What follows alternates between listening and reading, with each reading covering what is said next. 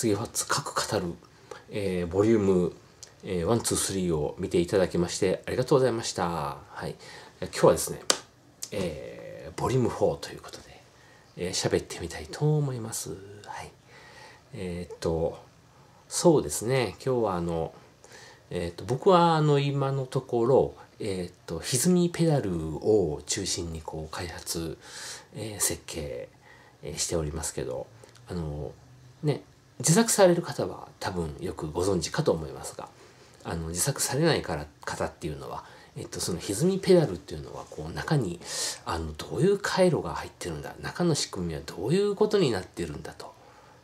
いうことがちょっとねえっ、とあまり知らないと思うんですよね。で、えー、とちょっとそこでですね、えー、どういうものが入ってるかということをあのちょこっとお話ししつつ、えー、その電気回路の重要性みたいな、えー、ところをお話ししたいと思います。はい、まあね、そもそもあの自作とかをこうねされない方にはあんまり興味のない話かもしれないですけど、あの結局はですね、えーと、中に入ってるのはあのアンプうん、あの皆さんねよくあのエレキギターを使う時は必ず、えっと、ギターアンプっていうのは使いますけどまあギターアンプ大きいですよね。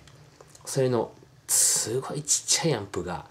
あの歪みペダルの中には、えー、入ってます。でえー、っとそうですね、えー、そのアンプがですね、えー、2つとか3つとか、まあ、1個とか。はい。でそのアンプで、えー、っとギターから来るこの信号ですね。それをこのちっちゃい信号をガバッとこう大きくしてはい。それで大きくするとですねあのー、その信号がエフェクターの電源電圧、まあ、9ボルトですね。とまあ大体グランドアース近いところで頭打ちをしちゃうわけですね。でそこで頭打ちをしちゃうと例えば綺麗なこういう波形っていうのが頭打ちをするわけですからこう頭打っちゃうわけですで下で尻餅をついてこうなっちゃうわけですね。でこうまあその綺麗な信号の上下がこうぶつかって潰れちゃうっていうようなそういうイメージですね、うん、そういう波形になるとえー、っとああいうディストーションサウンドが出るということです。はい。であのー、まあ今はですねえー、っと電源にぶつかるえー、グランドアースに、えー、アース近いところで、えー、ギターの信号がぶつかっちゃうっていうお話をしましたけど、まあ、前回もちょろっとひょっとしたらお話をしたかもしれないんですが、えー、とその頭打ちと尻餅を、えーと、疑似的に、まあ、疑似的にというかシミュレーションするような、えーと、ダイオードクリップっていう方式がねまあオーバードライブのペダルといってもですねほぼほぼ多分今9割ぐらいはそのダイオードクリップ方式っていうので、えー、と比較的ちっちゃい信号でその頭打ちと尻餅をつくっていうのをこう再現してあの波形をギターの波形を無理くりこう、えーと、頭とお尻を潰しちゃってるっていうようなそういう回路が入ってますね。はい。えー、はい。まあ、それプラス、まあ、トーンをね、あのー、調整する、え、ー、と、まあ、フィルター回路っていうのがまあおそらくどの、えー、歪みペダルにも入ってると思います。そういうので、えっと、アンプと,、えー、っとトーンを、えー、形成する、まあ、成形する、えー、っとフィルター回路っていうのでこう成り立ってるわけですね。はい。ええー、っとですねまあそういうあのね電気的な回路の、えー、お話をしてもなかなか、えー、難しいと思うんですけどあの僕もですね実際はえー、っとそのまあ25年間ぐらいそのね、えー、っと電子回路の設計っていうのをやってましてであの先ほど言ったそのエフェクターのペダルの中にそのアンプが入ってると言いましたけどまあほぼほぼ多くの場合はオペアンプっていうのが入ってそのオペアンプでその増幅回路っていうのを作ってるんですね。うん、なので非常にあの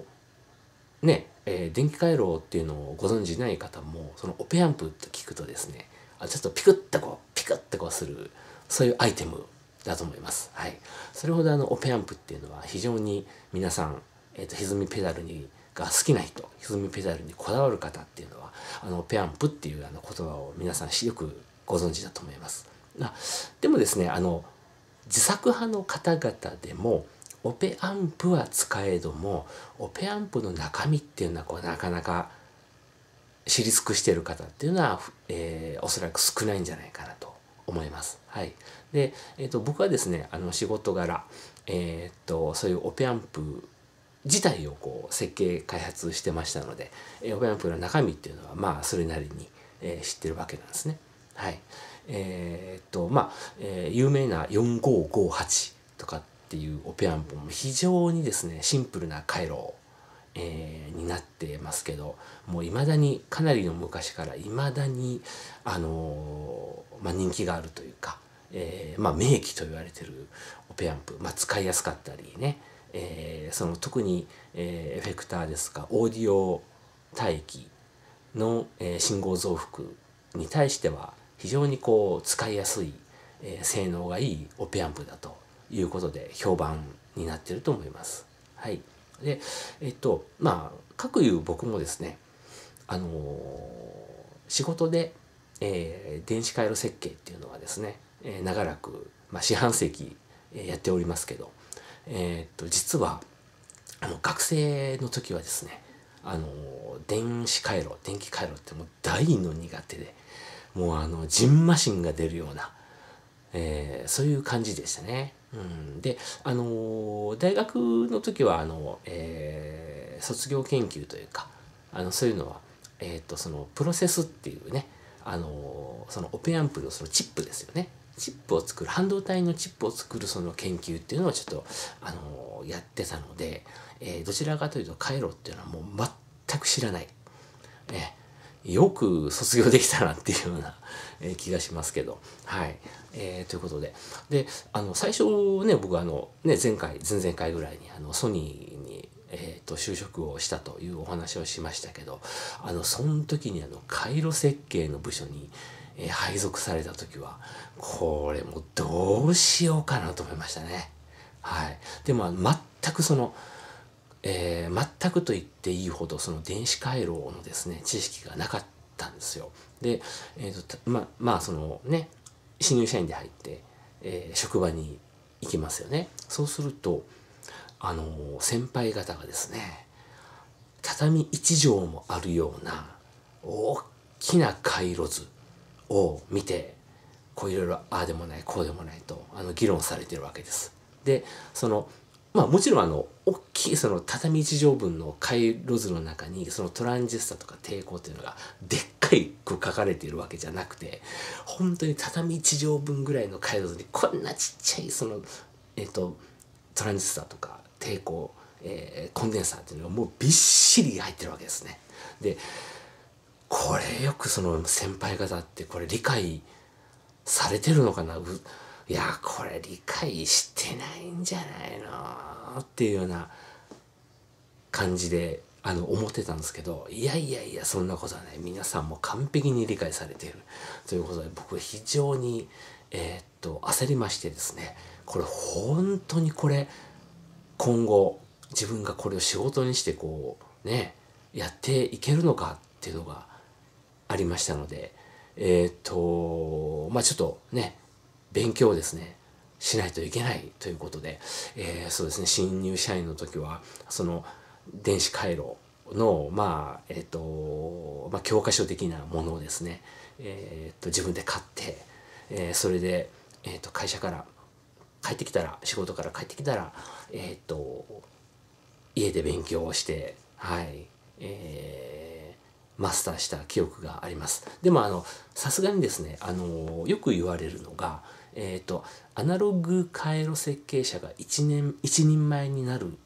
のに必要な期間っていうのはあの早くて10年って言われてますね。うん、であの10年っていうのはその電気回路だけではなくて、えっと、例えばお客さんに言われた仕様の回路をまず作れるでそれで、えっと、半導体回路の場合はも,、えー、もちろんまあそうじゃない場合でも、あのー、その配線ですよね配線の仕方でですね非常に、えっとまあ、ノイズが出たりですねあの性能が変わってくる面っていうのが多いですのでそのなんでその配線まあ僕たちは引き回し引き回しなんて言いますけどその、えー、と配線の引き回しでなんで性能が変わってくるのかということとかですねであとは、えー、とその部品の配置でも、えー、性能が変わってきたりノイズが出たりうまく動かなかったりそういうこともありますので、まあ、そういうのも含めてでさらにあの物をですねえっ、と世の中に売るというのはですねやはりすごく責任があることなんですね。でなので、えーと、ちゃんと自分が設計した回路っていうのがですねきっちり動くかっていうことを確かめる評価技術というのも必要ですしでさらに、えっ、とまあ、えー、試作品からそれが評価で OK になって、えっ、と工場で作るわけですよね。でこの工場のでその IC、まあ、回路まあ、チップですよね。それが作られる一連のその流れといいますか、えー、でさらに、え、っとまあ、それをこう販売するというところまで。全て一貫して一人前になるのは、まあ、早くて10年、はい、と言われています。はい。えー、でもですね、あのー、まあ、その回路設計というか回路技術っていうのはもう日々進歩するわけでして、えー、っとその10年っていうのは一応はあの基本的な、えー、っと教科書に載っている、えー、回路が理解できて自分で設計できるっていう最低限の知識を、えー、得るのに10年ということが、えー、言われてますので、えー、そのもうどんどんどんどんこの、えー、時代とともにですね性能が要求されてくる機能が要求されてくるということでその、まあ、10年た10年経った時点でその全てそういうところの仕事ができるか回路設計ができるかっていうとそうではなくてあのそこからですねえー、っとまだまだちょっと勉強することが多くてですねあの日々日々勉強。はい。あのこれゴールがないですね。はい。えということになってます。はい。でえー、っとあの今回はですねやはりそのえー、ね電機メーカー、えー、世の中のまあ国内外問わず、えー、電機メーカーがですね、えー、と商品を、えー、世の中に出す、えーね、皆さんに使っていただくっていうことは非常に先ほどあの責任が重いという話をしましたけれどもあの僕もですねえっ、ー、とそのね自分が設計してえ販売した IC っていうのがですねいろんなメーカーさんにこう使われるわけじゃないですか。でそうするとあの例えばね新聞のですね三面記事の下の方になんか例えば冷蔵庫が発火したとかそういう記事が載ってるわけですよね。まあ、テレビが発火した、えーと、AC アダプターが発火したとかでそういうのにその自分が設計した IC がまさか入ってないだろうなと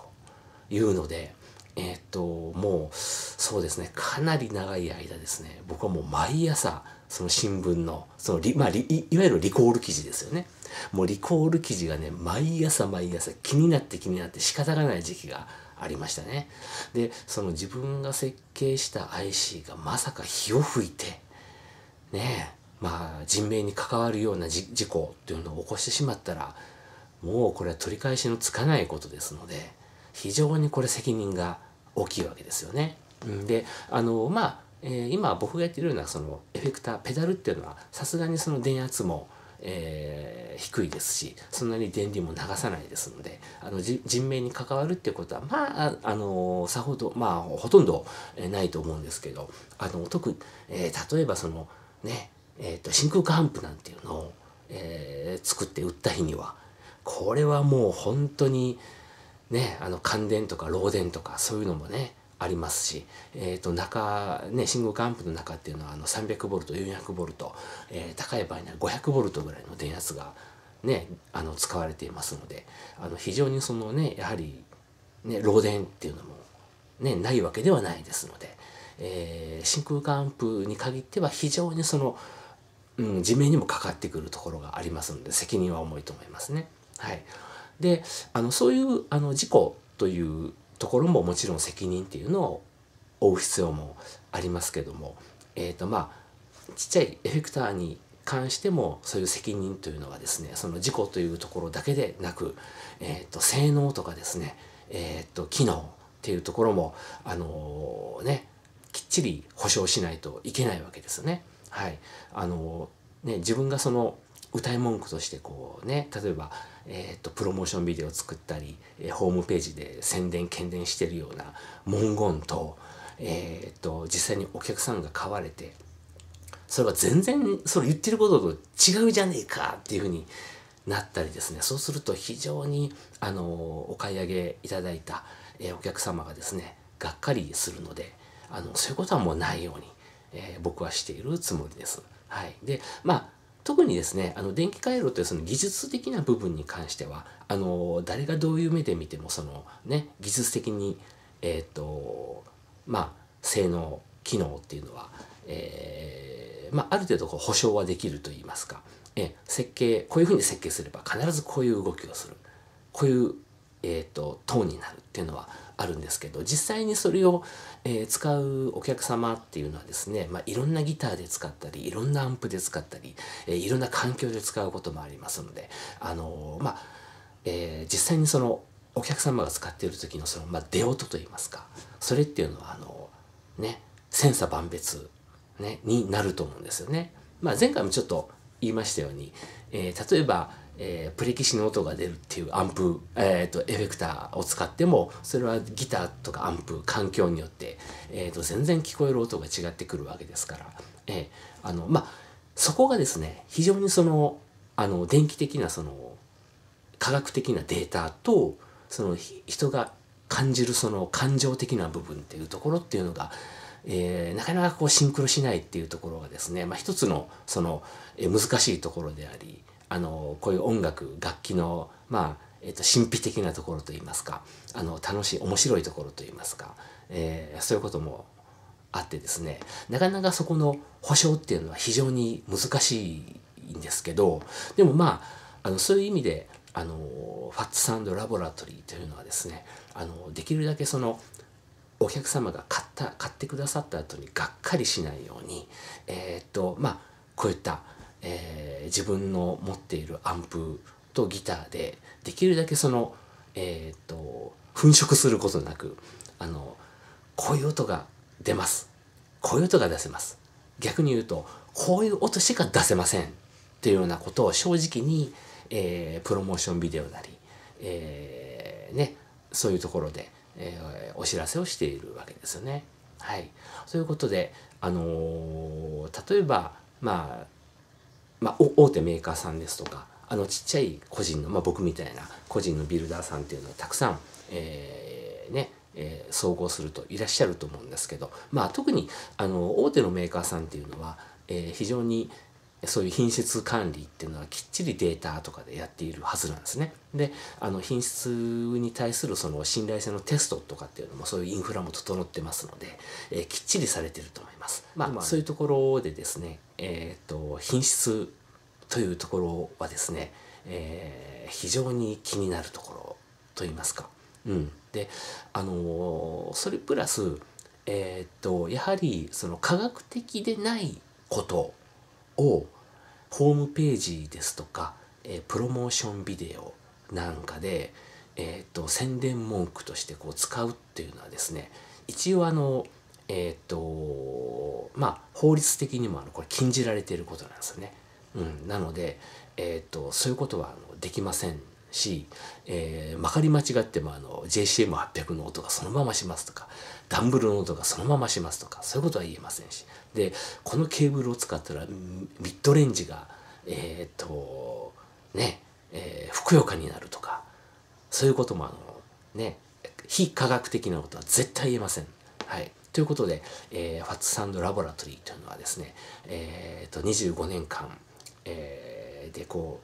う勉強して、えー、実践して、あのー、習得してきた回路技術